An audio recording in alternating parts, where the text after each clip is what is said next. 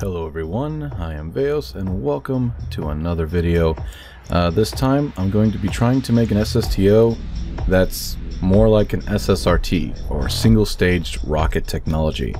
The terminology was coined a long time ago by, was it, McDonnell Douglas? Now they're called something else completely different. I'd have to look that up. Hold on, let me look that up. Hmm, this, uh, was it McDonald?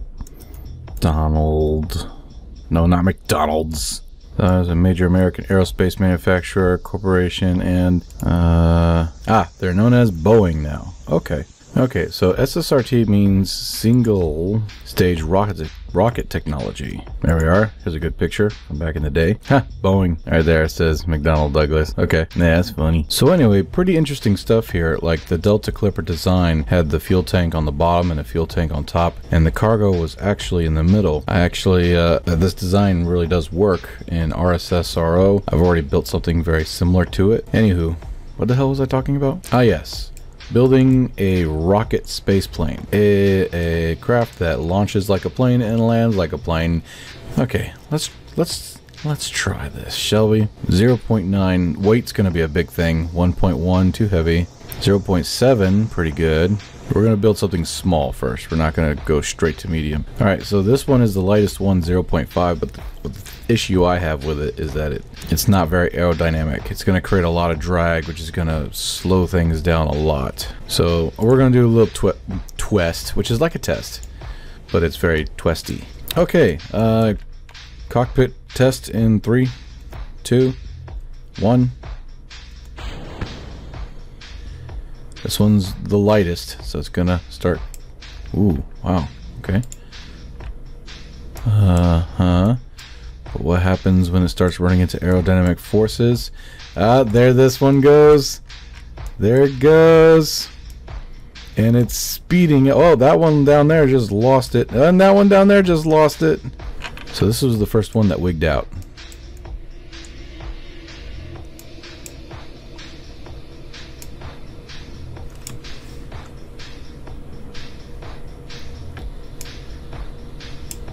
Why did this one wig out?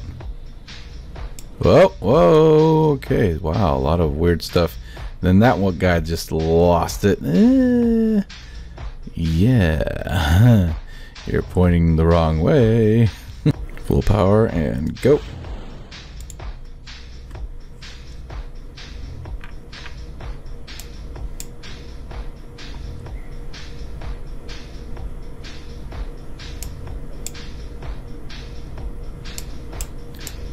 Oh, there's a lot of drag. A lot of drag, and then it pulls on it, and up. Okay. This one drag, it's already started. This drag right here. This is just a parachute almost. Wow, that drag is real big, but there's hardly any drag on this. Okay, those two flip out naturally. Look at, there's no drag. The tiny is like, the drag is gone. Okay, so we're going to start off with this rocket, um, this cockpit. Let me check the ISP on this one. Engine ISP is 265. What's the engine ISP on this one? 285. Damn! So not only does this weigh the same amount as the uh, Reliant, but its ISP is actually higher. Hmm. Okay, same spacecraft, uh, different engine type test in three, two, one. Oh, wow. Okay.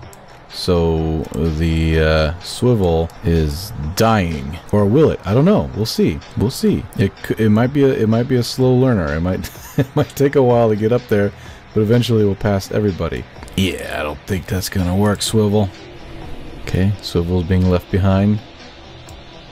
Reliant is on the chase. That's definitely a lot more than uh, the swivel, but Something tells me the other rocket's gonna blow everything out of the water. And she's off, leaving everybody behind in her wake. Alright, we broke 2,000 meters per second at an altitude of 396. A little bit faster and a little bit higher, but not too far off from the Reliant. Still, a little bit better in every way, so we'll be going with this engine. But this engine does not have a gimbal. So in order to help us with control, we will need an engine with gimbal ability. But to help us even more in space, I think we're going to go for a more space orientated rocket. Now, the Terrier is a great low tech um, space engine. You can use this to go interplanetary and everything. It's beautiful. It's not super great, but it's not horrible. Now, of course, I could go for the Aerospike. That's like second to the Rapier. We're gonna, you know, leave that one alone. Now, I've already did an experiment with these uh, um, uh, nose cones, and the small one right here, the aerodynamic nose cone, is the best. It's uh, it gets its superpower from the fact that it's so light, regardless if it's not pointy or sharp. It's extremely light to any other cone. Even if you're to make your own with a fairing, this would beat them all. I've tested it before. Trust me. All right, auto strut everything. Auto strut. Good, good, good. Yes, yes, yes. Now, according to this, we only have 3,700 delta V, which is not great. The trick here is to actually use as little of wings as possible, since wings creates drag and it's to kill us. Hmm. It's looking very, uh, very fascinating here. Uh, let's take out the monopropellant. I am not trying to dock with anything, we're just trying to get up there. Okay, new plan. New plan. Alright. New plan. Um, Take that. New plan. Okay, okay, okay, okay, okay. Okay, okay, okay. New plan. Um, hmm. Oh, it can stick to the sides. Well, that's nice. Okay, so what we'll do is we'll actually put one right here and one under here. Okay, I have like zero faith, zero faith in this design. I don't feel comfortable with this at all. I, don't, I don't feel comfortable with this at all. Okay, uh, SAS. Turn the first pair of engines on.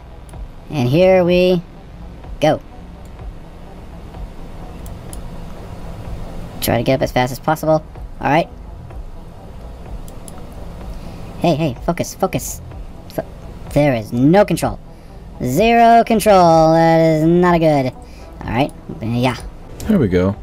I mean, I know that the rocket plume would completely destroy this side, which is bothering the hell out of me since, you know, I'm, I'm kind of a science guy, and that that that's just bothering the hell out of me right now. Three, two, one. Lift up. And we're going to do about 45. Once we get out of the very, very thick atmosphere, which is about 8,000 meters. And okay, going prograde. Alright, turning her off, coasting up. Got a lot more speed out of that. Engaging secondary. The closer to your apoapsis, the more bang for your buck. Well, that's it then. We're in space, and we are in a stable orbit. Hmm, so yeah. Again, I mean, I hate to say this, but that's bothering the ever-living poop out of me right now. Alright, I'm gonna try something else. I'm gonna try something else here. Okay.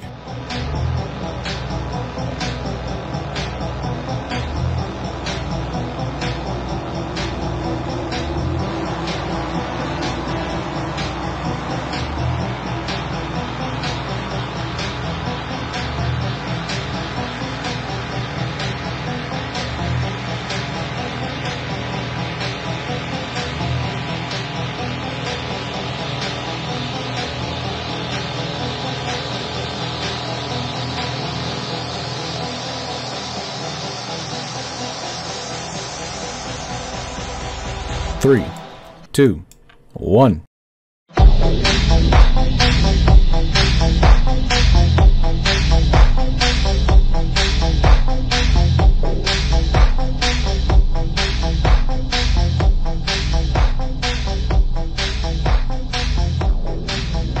Okay, well, we have a lot more fuel left over, for sure.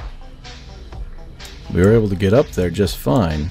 If we start adding lights and RCS thrusters, it's going to slow us down a little bit. But the concept works. Now here comes the fun part, uh, is landing this sucker.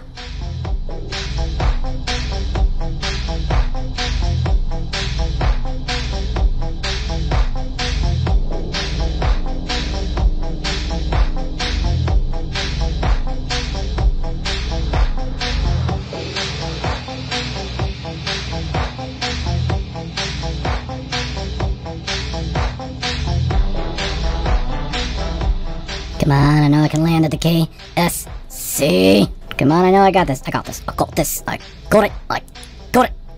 I really, really do. I really got this. I got this. Come on. No, dear. Whoa. Gosh damn it, Nose. You can cool down now. Son of a biscuit.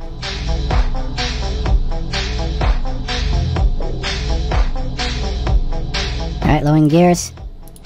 This is it.